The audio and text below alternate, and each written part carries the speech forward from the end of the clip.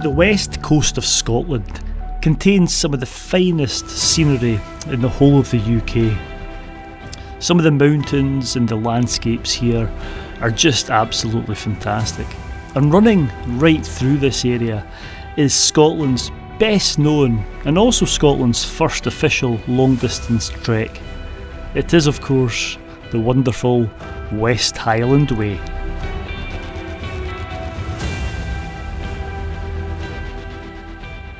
The trail runs for just under 100 miles, starting just north of Glasgow and finishing in Fort William. And we were hoping to undertake it in the middle of winter, not far from the shortest day of the year. Hey, good morning. Um, I may have done a wee intro, so you'll probably have guessed where I am. We're on the, the West Highland Way. And when I say we, I've got a companion who I'll introduce you to later on. But yeah, it's um, it's light now. We've been on the go. I left my house about 4am this morning. Uh, we're not far from the shortest day of the year. And we started hiking in the dark about half six from Milngavie. And we've been going for a wee while. You see the lovely colours of the sunrise just starting to show over this frozen loch. And to give you a wee bit of context, uh, you, you, I've already said it's the middle of the winter, the shortest day, so we have got some challenges ahead. But some background context is the last two or three weeks in Scotland, it's been glorious weather, blue skies. Um, really cold though. I think there was a temperature about minus 19 recorded somewhere, and it's the coldest sort of winter spell we've had in about 10 years. And that broke yesterday. There was some rain came in, which fell as snow, as you can see. So it's made the going this morning. It's also iced over in places, so it's a bit slushy and a bit icy. And the weather for the coming days is looking challenging. So if anything, this is going to be a bit of a yeah. We might not make it to the end, put it that way, but we'll do our best given the short days of short hours of daylight and uh, yeah, wintry, changeable weather. But anyway, for now, we're going to crack on a wee bit further, and I'll report back in a wee while. Right, let's go.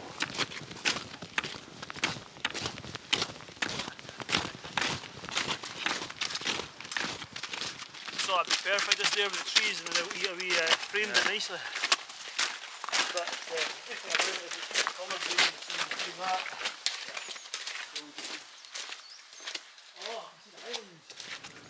Oh, look at that view, you can see the Highlands now. And the sun's come up and it's lighting up some of the campsites behind us. And let me introduce you to Ray. You're probably, long time viewers of the channel will know Ray. Hello folks. So I thought, uh, I've never done the West Highland Way, so I'm glad I'm, I'm with an experienced hand. How many times have you done it? Uh, this will be my, this my third, fourth, third, yeah. Third or fourth Done it a few times. And I'd always wanted to do it in winter, uh, just for something a bit different and yeah, everything kind of tied together that yeah. we could do it together. So yeah, yeah. So I'm just following Ray really. uh, but yeah, it's been a bit, it's been okay. It's a bit icy, isn't it? A bit icy it and a is, bit yeah. slushy. And, um, yeah, we're going to head down to Drymen and um, we're, we're, aiming to get to the banks of Loch Lomond, aren't we?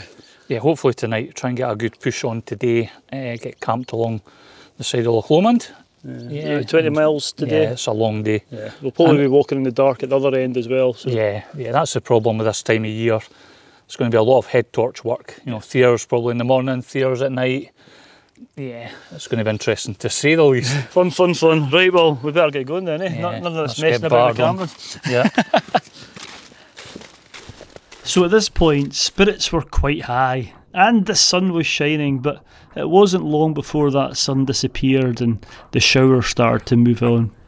Little did we know that was the last of the sun that we'd see for the whole trip. I just wanted to stop here. There was a wee rainbow behind me, I'll cut to some footage of it. But yeah, this uh, this hill behind me is uh, Dumgoyne, and below it here, this white building is Glengoyne Distillery. And it uh, it's the site of a famous episode of Still Game where Jack and Victor go on their whisky tour. I'm pretty sure that was filmed in Glengoyne. It's well worth going to watch it and checking it out. It's uh, it's a very funny episode. They go round the tour and then sneak in the back of the next one and round and round and round and get lots of free whiskey. It's a classic. But anyway, going to shut now and uh, it's been raining a wee bit. Path's very, very icy. Uh, so it's, it's, it's, the going is a bit slower than we'd like, but yeah, we're going to head on and I'll report back a bit further on. Let's go.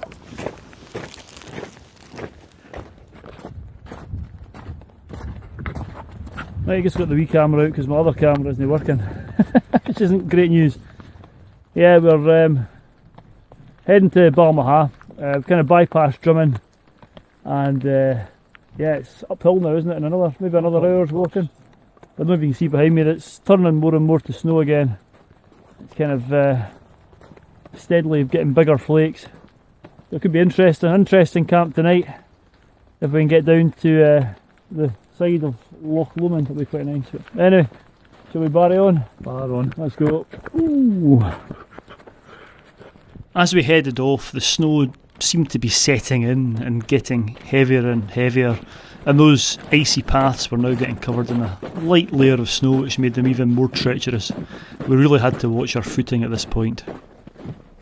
You'll probably not see it, but we can see uh, Loch Lomond over there now. not before time. Still a few hours to go though. The next few hours were a bit of a trudge, and we dropped down towards Balmaha where we stopped to go into the pub to have a pub meal, which was lovely. But after that, and once we came out, it was pitch black. And down by the shore of the loch, the snow had turned back to rain. And although you can't see it here, the, the path was still covered in, in ice. Some of that rain was freezing on, on impact, which made it treacherous once again. Anyway, to say that we were relieved to reach the intended camp spot would be an understatement. It was still raining, and now the issue was trying to find a pitch where the ground wasn't frozen solid and would take the pegs. Legs were tired, minds were tired, and I was just keen to get the tent up and snuggle into a nice cosy sleeping bag as soon as possible. Whew. Right, I've not really done many bits to camera. It's been a tough day. It's uh, literally rained all day or snowed. I think earlier on in the day we had a wee bit of sunshine, but since then it's been it's been pretty tough. Pretty tough going. A long day. The Underfoot conditions were pretty pretty bad. Uh, ice, snow, just hard ground. Uh, we really couldn't get into our stride. So we stopped at Balmaha for a bite to eat at the pub there, which was lovely. And then it's been another couple of hours to get to the campsite. We're on the shores of Loch Lomond. So I'm actually getting my heating up some water to put in a water bottle to try and keep myself warm tonight. But hey, I'm going to report back tomorrow and get the camera out in the rain, and uh, yeah, hope for a good night's sleep. So report back tomorrow. I'm going to sleep well tonight, right?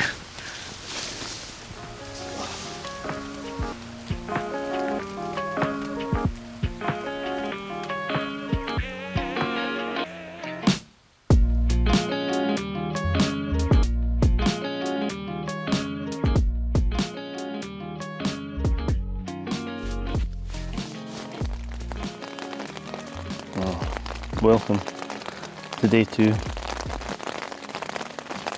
It's raining. Oh, it's six o'clock. Ah, let's go. Don't know if you'll even be able to see me, but yeah, it's, it's just before seven now. I was chucking it down with rain when we woke up, so I don't think the rain's far away today. Time to get the tent down. And today we're walking along the side of Loch Lomond which sounds like a trivial matter, but uh, Loch Lomond is a long, long loch, and uh, before coming on the trip, I was kind of thinking the second part of this day today is going to be the hardest. Um, the trail apparently is quite quite tricky beyond Inversnaid, so yeah, let's get the tent down. I'll report you back to you when the uh, hopefully when the sun's up we've eaten up some miles. So we got the tents down and got set on the trail again, and it wasn't long before we were back in the snow, but at least it wasn't raining at this point. Down at the shore, there wasn't much snow, but it was only maybe 20 metres, 30 metres up the hill, and the snow line was reached. Made it quite nice to, to see in the, the dark, but you had to watch your footing again. Well, hopefully you can see me. We've uh, come, what, about 45 minutes to the campsite? Yeah, it's about that. It's, uh, it's dry now. Uh, the, the, the, rain hasn't come on yet, but it's forecast to come on later on. So we stopped here and get a nice view across the loch. It's beautiful. The hills are white. Uh, it's thawing a wee bit, isn't it? It's just getting a little bit milder, but I'm just hoping it stays as dry as long as possible. Yeah. Uh, before the rain does decide to come in. There is at least one day where it's going to be terrible, howling. Right. Anyway. Shall we get cracked on up, yeah, up the loch? Yeah. Lovely spot though.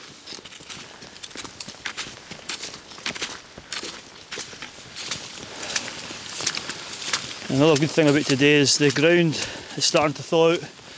It's getting a wee bit easier than yesterday.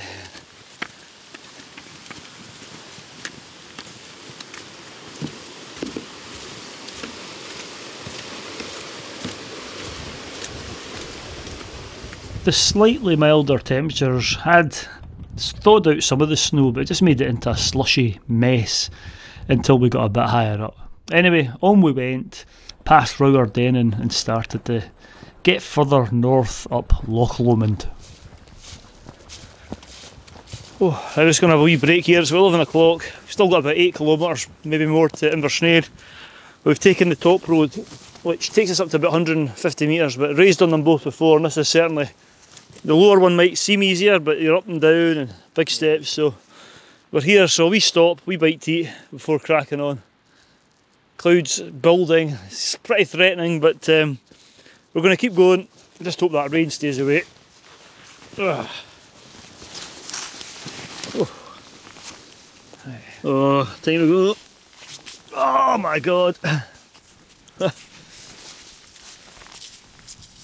Back home with the heavy pack. This is the worst part.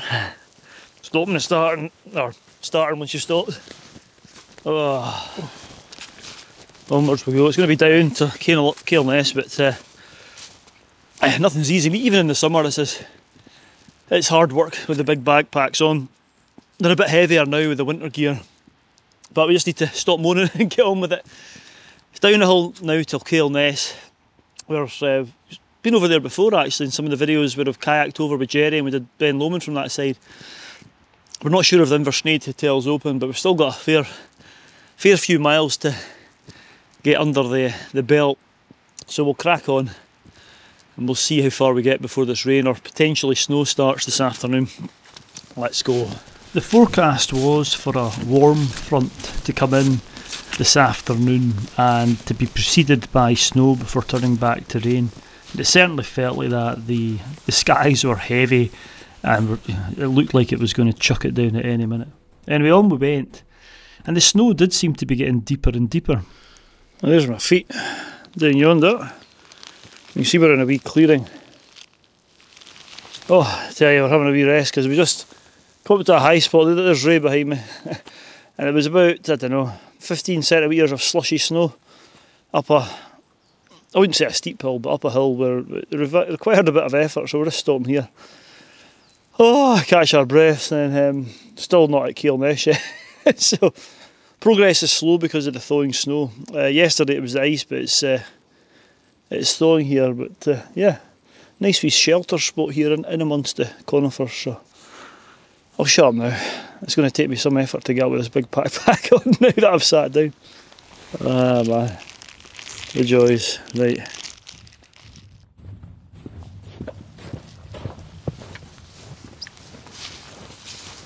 Oh. Right, the rain's kind of started a wee bit, just sleety rain.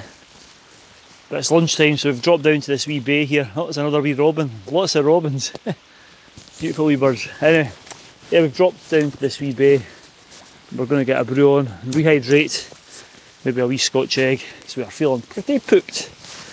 Right, let's do it. Oh my god! It's getting a wee bit lighter.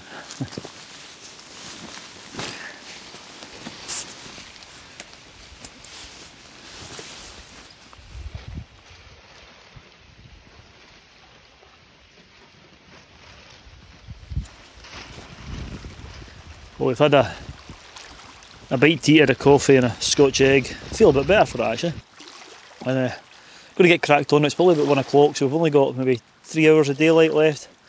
We'll definitely be walking in the dark. It's going to be a hard push. The um, the distance we've we've got to do today, or hoping to do today, isn't as much as yesterday, but the terrain's a bit more up and down under normal conditions. The, the snow when we were up in the higher route was uh, a slowing factor, but hopefully now that we're down, we'll just barry on along the track and see if we can get to Beinglas before, uh, well, before tomorrow. I was going to say before nightfall, but that's not going to happen. We'll definitely be walking in the in the dark. But yeah, the sleet is on. This this rain's moving in. This is the, the mild air actually moving in. It's kind of sleet here. You can see further up. It's definitely snow. So yeah, we'll get warmed up again when we move. maybe tomorrow we'll, we'll wake up to a wee bit of warmer, uh, warmer temperatures. But yeah, I'm going to put the big camera away now, so it'll be action cam for the next wee while, and I'll report back further along the trail, and hopefully further up towards the north end of Loch Lomond. Right, let's go.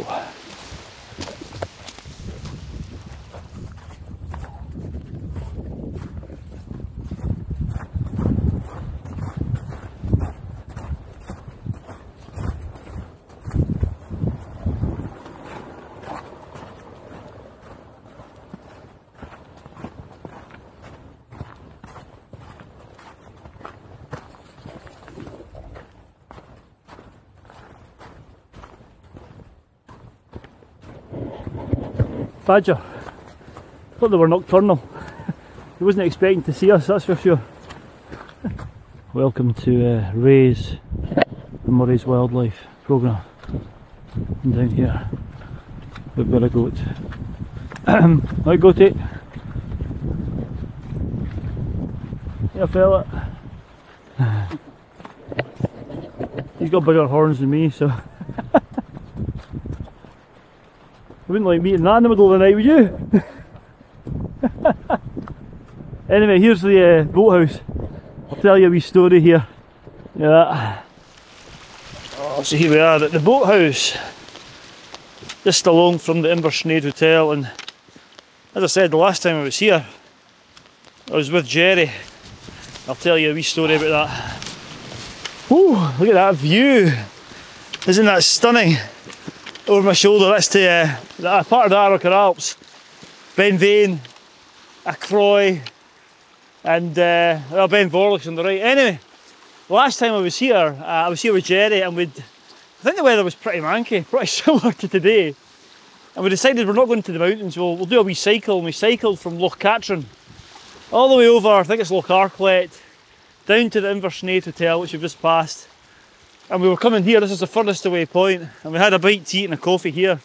And uh, we got back up to the Inversnaid, or I was at the Inversnaid anyway. Jerry was nowhere to be seen.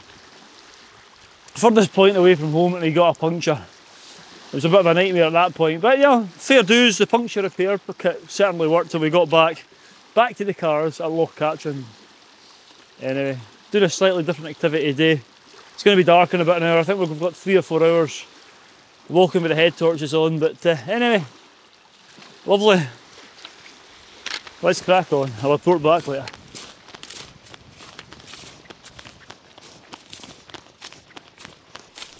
The section between Inversnaid and up to Beinn was a bit that I knew would be really tough, and it, it proved to be so.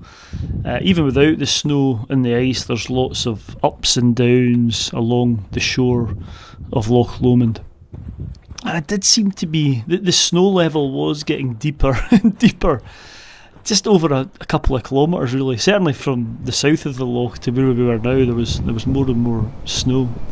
Anyway on we trudged and it soon became dark. Sunsets round about half past three uh, if not before at this time of year and we soon had the head torches on and picking our way along the the path which takes you along the shores of Loch Lomond and again, there were still sections which had slushy snow or hard packed ice on them as we headed along, so we weren't making fast progress.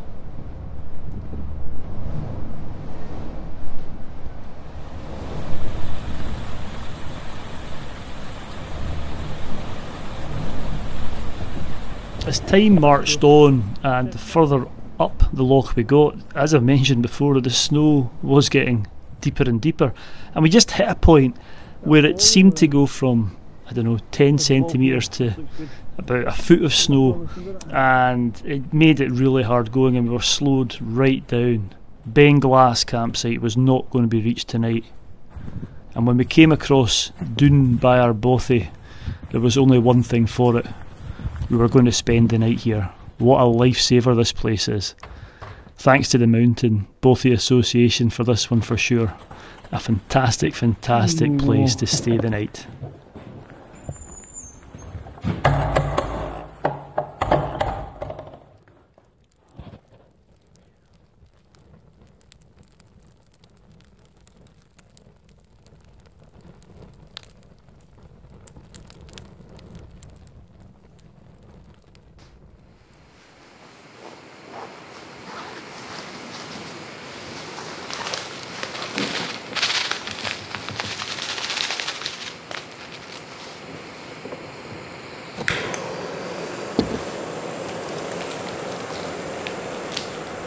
Well, good evening everyone. We can see we're not in our tents tonight. Ray's done a good job. The fire's going. In fact, we're doing all right, Ray. Uh, just, Just- just, yeah. Just managed to because we weren't expecting to stay here, but it got dark. Well, it was four o'clock dark, and that last bit along the lock. Well, we're still on the side of the lock, but um, it was taking our time. I think what would usually taking us 15 minutes was taking us maybe 40, 45. It was just the ice and the snow and the tree roots, and you're constantly watching for your footing to make sure you don't go skating into the into the water. There was some deep drop. well, yeah, was some, deep- yeah, some serious drops here and there, so you've got to be careful. Uh, yeah, this is en route to Beinglas campsite, so yeah, let's stop here, here. Yeah, And Yeah. the thing is, once we came out of the forest, the, the, the snow out there must be half a foot deep, maybe. Yeah, and it's thawing rapidly. So it was um, it was tough going. So when we saw this place, my God, we just decided to to come in. So we're going to stay here tonight, and then will we get up early, to, early, early tomorrow? I think. Yeah, yeah. Uh, the thought, well, the thought, six o'clock. Six o'clock. Have a look and uh, head out. But the forecast for tomorrow was horrendous. Uh, the last time I looked, at, and there was a, a super thaw on, so which might actually work in our favour. But I think as you, uh, what you were saying from doing it before, once we get to sort of Ben Glass, it's, it's a sort of Land Rover track. Yeah, it's, it's a track most of the way, so it's a lot easier. This is the worst section. The Loch Lomond bit is the worst out of the whole thing, I think, in my opinion. Aye. It's just that constant up and down, up and down. It just drains you, something terrible. And when it's dark and it's raining Yeah. and the wind's howling, Yeah, because the wind at times it was wild it was wild. aye. for a few minutes. well, yeah, for a, for a few minutes it come on and it was like, here we go. You could hear it coming, couldn't you? Yeah. you could hear it coming. So. Anyway, right, Yeah. we'll report back in the morning. We'll uh, hit the hay and uh, yeah, hopefully we can we can make some uh, progress. Yeah, and this Tomorrow. fire will stay on as well. How's it going? Yeah, it's going. I tell you what, let's let's take our chairs over and sit around the fire. I think that's Yeah. that's what, that's a good idea just now. I've, got well, my, I've got my hot water bottle anyway, so. You got, I've still to make mine. But, uh, anyway, we'll see you in the morning. We're going to warm our hands next to the fire. Well, hats off to Ray for getting that fire going. I don't know how he did it, but he did it, and we settled down for the night, knowing that we were going to have to make up some ground tomorrow if we were going to get back on track for completing the West Highland Way in five days.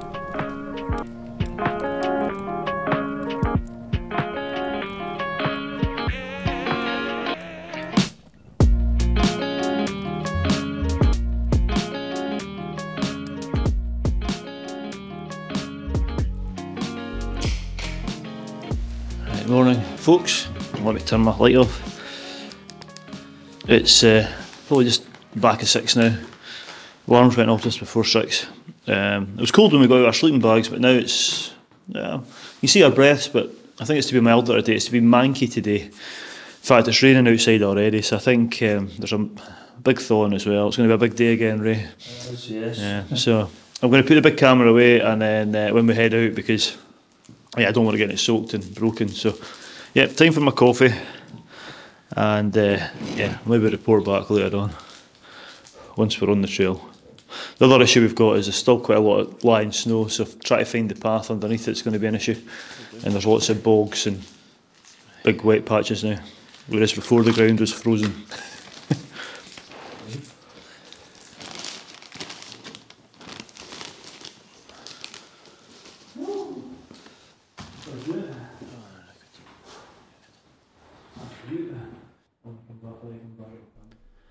So we had our breakfast and then gave the both of you a quick sweep up and a clean, leaving it nice and tidy for the next visitors. And what a fantastic location for us eh, anyway.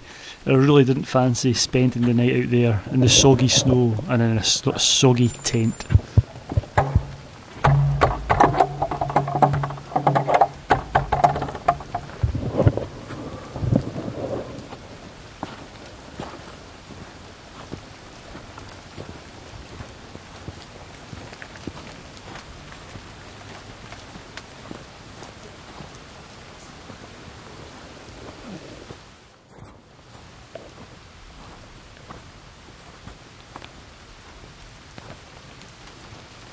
Out on the trail and the weather was, well, as forecast, it was hammering it down, although you can't really tell that from this footage.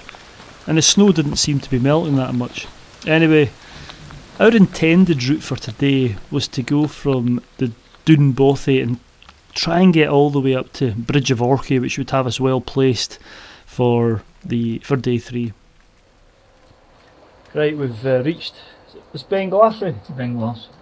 This is where we were hoping to camp. Uh, there's still about, I, I reckon there's about 15 centimetres, 10 15 centimetres of snow at the moment. And that's it wet, so uh, there'll be more when it fell. We've probably been going for about an hour and a half, two hours. It's going to be a tough pull to get to Bridge Orchy today, but we'll give it a bash.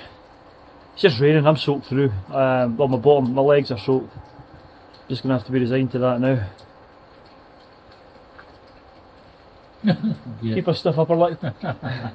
We're smiling. We're smiling. yeah. Keep going. Keep going. Oh man.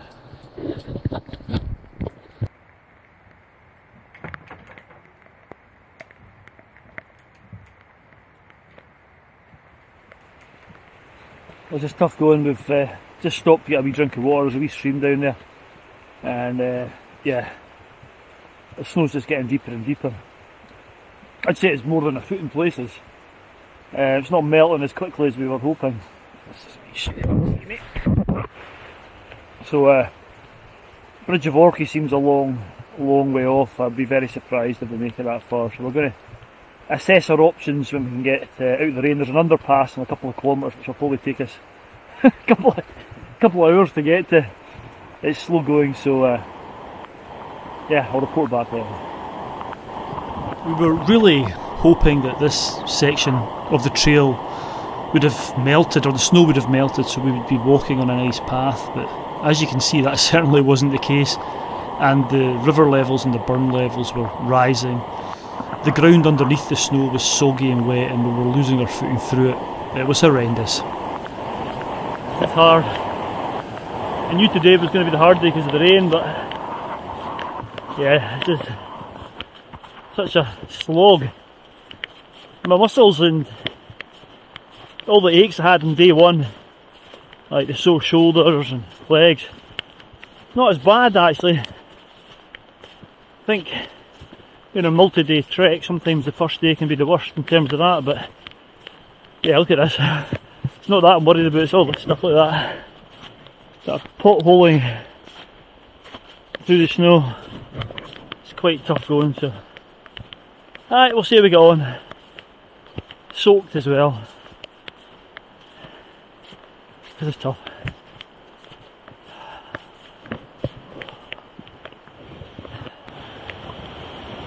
In addition to the hard work through the foot high slush and being soaked to the bone, the river levels and burn levels were now actually getting dangerously high. It was almost spilling over onto the path in places. It wasn't looking, yeah, it wasn't looking very good if I'm being honest with you at this point. And I wasn't feeling very good either. I've had better days, let's just put it that way. At this point, we thought if we can get to Tyndrum and maybe book a hotel or a lodge to dry out, we'd, we'd be alright. But things were slow. We definitely weren't getting to Bridge of Orchy, and now it was looking as though Tyndrum was going to be a push to, to get to before midnight.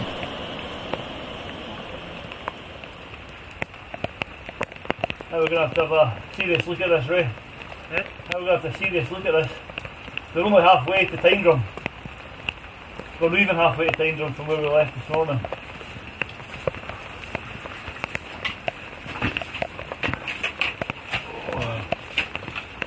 We're, um, uh, we're no we're about a third of the way to Tyndrum from, well from Beinglas anyway. We're leaving sort of turn the corner. What time's up? Half past twelve. Steam coming off you. The steam. We're taking shelter and about the only wasn't even shelter here, it's still dripping down. This tiny wee underpass which you can't even stand up on, poor Ray's bent double you know what we're, we're calling it. This is the snowpack is still it's getting deeper and deeper actually. It's up to my knees in places and um, it's going to be worse when we go up over Rannoch Moor. I, I kind of thought it might have melted. There was going to be this turbo thaw, but it's not. So yeah, we're going to bail and we're going to go and get the train, hopefully from Crianlarich. So, so the way it goes, we'll explain more and reasonings behind it, but uh, may keep moving, so I'm getting cold again actually. Yeah, It's sitting cold, down. cold. Anyway, right. We'll report back.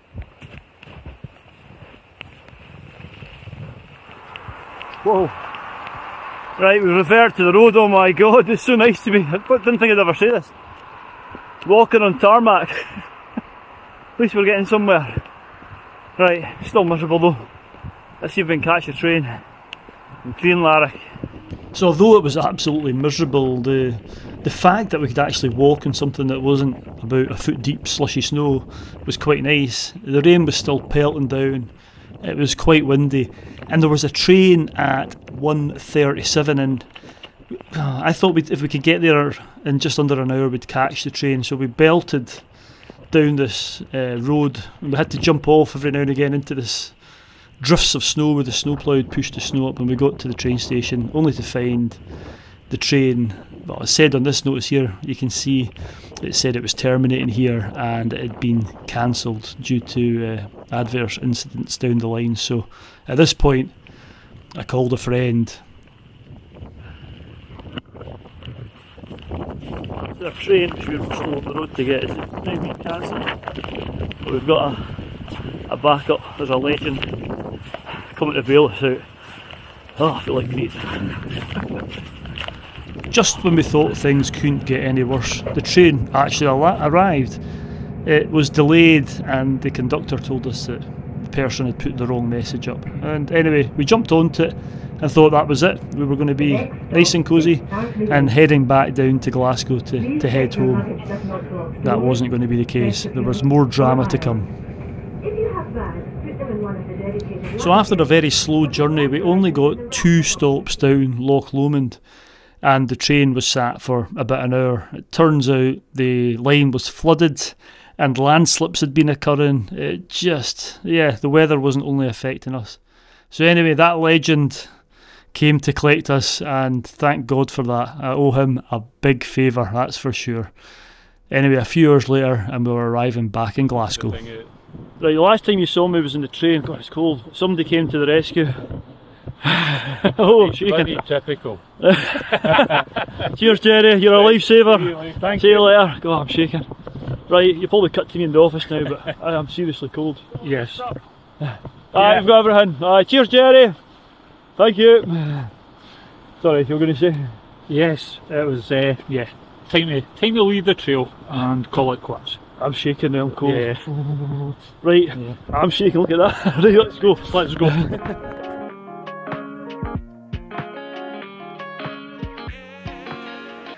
Right, well, I'm back in the office. As you can see, it's now two days since we bailed, I suppose, from the West Highland Way. Uh, but before I go any further, I just I, I have to thank Jerry for coming and getting us because we could have been in that train for hours. Uh, it just shows you how exceptional the um, weather conditions were on that particular day. It was it was pretty horrendous. That train was uh, was cancelled due to flooding further down the line, and there was landslips here, there, and everywhere. So thank you very much, Jerry. I owe you a pint. Anyway, so I thought I'd do a quick synopsis of what happened. Um, I thought I'd start with that last day and just just how tough it was and why we decided to take the decision we did. Uh, when we got to Beinglas, we thought that the path, well, we knew the path was better.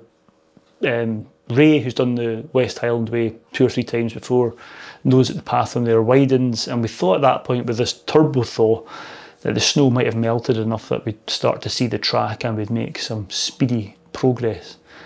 As you saw, that didn't happen. The snow depths were still, they were, exceptional. It, you know, it was quite localised as well because further down the loch, even at Inversnaid, for instance, there was nowhere near as much snow. It was literally about a kilometre before we hit the Bothy that we slowed right up because the snow was, yeah, it was it was deep, you know, and it was getting wet. Um, it wasn't nice, soft, powdery snow. That wouldn't have been an issue. That would have been, you know, I think I don't think that would have hindered our progress as much as the uh, the slushy, heavy snow. Uh, so that was that, and that that you know we, that Bothy was fantastic. That was just in the right place. There was no way we would. We, well, we could have got to Beinglas, but it would have been another two or three hours at night uh, getting down there and trying to pitch in soggy snow, not knowing what's underneath the snow would have been a nightmare. So we um, we set off in the morning from the Bothy in high hopes of getting down to where we'd intended to camp, and that from there we'd be able to bash on and get up to the Bridge of Orchy. It soon became apparent that that wasn't going to be the case. The turbo thaw wasn't didn't happen. It was milder and it was chucking it down with rain, but it wasn't the double digits. Not certainly where we were uh, on that day, and the snowpack wasn't melting very quickly. Added to that, the amount of rain that was coming down and, and the snow melt, although it wasn't, it didn't seem to be melting much snow, it was, you know, the river levels were dangerously high. There was points that River Falloch was close to coming up and over sections of the West Highland Way and any burns that we were crossing without bridges. Uh, in fact, I, I tell you what happened that day, so our day three, the section of the West Highland Way we'd done before up the side of Loch Lomond was actually impassable. There was a, a tweet uh, that's from the official West Highland Way um, page saying that the boundary bridge, bridge was impassable. I don't know if it was washed away, I don't think it was, I think it was just the volume of water uh, coming over the waterfall must have been right over the bridge, which shows you how exceptional the, the conditions were. So, um, the options we had, we, as I said, we thought about getting to Tyndrum and booking somewhere like a hotel or a lodge to dry out the clothes, but once we got to the underpass and, and I looked at how far we'd got, we wouldn't have been getting to Tyndrum till well after dark. I mean, I, you're talking 10, 11 at night. The next option would be to have stayed at somewhere somewhere in Crianlarich, but by that time we would have been pushing it. We would, we would have had to add at least, I think, two days on to our designated five that we were hoping to do it in. And you know what? My wife wanted to be back for Christmas. so that wasn't an option. I think I feel good. I feel I feel proud that we, we made that decision. You know, sometimes when, when you're with somebody else, bravado can take over and you just want to push on. But you know, we assessed it we called it right, 100% called it right. Um, I don't, I don't, um, I don't see how we could have done anything else apart from adding two or three days on to the journey and, and taking time out at Crianlarich. I mean, the snow depths were, were crazy. Um, interestingly, when, when we got on the train, I did get an internet signal and I checked the Traffic Scotland webcams and Tyndrum looked just as bad as Crianlarich, but interestingly, the Glencoe at Altnafeadh webcam, the turbo thaw had happened there. There was no snow at the side of the road. So it just shows you, um, usually it's Rannoch Moor and Glencoe, which are a bit higher up, where there's, you know, you expect to hit more sort of wintry weather, but um, yeah, it, it, it, wasn't to be. So, um, yeah, so we had all the kit, you know, we, the other option we had is we could have just stopped, got the tents up. We had my all my kit was in dry bags within my rucksack and, and within the bag there was one big dry bag and then little dry bags with everything. So we did have dry clothes that we could have changed into if we'd pitched the tents, got up and, and dried out. But um, most of the clothes that I had on that day were pretty wet. The snowpack was deep and soft, but the ground underneath you couldn't see it, and sometimes that had thawed, and you're putting your foot down off trail into big wet bogs, and my feet were soaking. The the water had gone up over the gaiters uh, my internal gaiters and my feet were soaking, my legs were soaking, my torso was, was dry, the the bag and my waterproof jacket was worked, but you know was was fine. But um, yeah, hypothermia could have been an issue. Getting washed away in the rivers could be could have been an issue. So the West Highland Way it is seen as an entry level uh, long distance path, and, and I guess it is. It's a you know normal conditions. It's a beautiful beautiful path to follow. You know if if you're doing it in you know when there's not a foot of snow to to go through. Um, so it just shows you it's like anything else. Like I always say, with the hills and the mountains, you know, there's you know, some some people say there's no such thing as hill walking in winter conditions in Scotland. It's mountaineering, and, it, and I suppose the same goes for any sort of through hike you're doing. It's, it's it's dependent on the weather conditions. So there we go. That's it. Whether we go back to do it to finish it off, I don't know. I've never been that bothered about it to be honest with you. It's always been something which I've thought was maybe bit too popular. Not popular, but I like my solitude. You know what I mean? Um, funnily enough, we didn't meet another soul. I think we met one person. Uh, we saw one person um, at one point, but uh, yeah, it was it was quiet. Um, anyway, right, let's have a look at the stats. Uh, I'll bring them up on the computer and I'll put them up on the screen there. So, just to show you what we did, um, day uh, day one, which was from Milngavie to um, Sallochy campsite was 20, nearly 23 miles, and it says it's nine hours 40. It took us a lot longer because of the ice. I mean, literally the whole way up, the path was was iced up. You couldn't get into a stride at all. So I think we did really well to do that distance on day one. Day two, we did it less 13.7 but that we always expected to do that. that. I think under normal conditions that's the hardest part Ray certainly thinks it is of the trail is the ups and downs and the tree roots and the rocks on the side of uh, Loch Lomond. And then on day three when we bailed it was still just under 10 miles like 9.2 miles up to Crianlarich and the quickest way the quickest section was that last four kilometres along the wet road, dodging cars, and because there was no space, because of the, the piles of snow, there was literally a metre, metre and a half in places where the snow had been piled up from the snowplough. So there was just enough room on the road for the cars and lorries and buses and gritters that were going past. Every time we saw a car coming, we had to jump off up to our thighs in the snow, um, which was uh, which was yeah a bit frustrating. But you know what? it was still better than the uh, than the alternative. So yeah.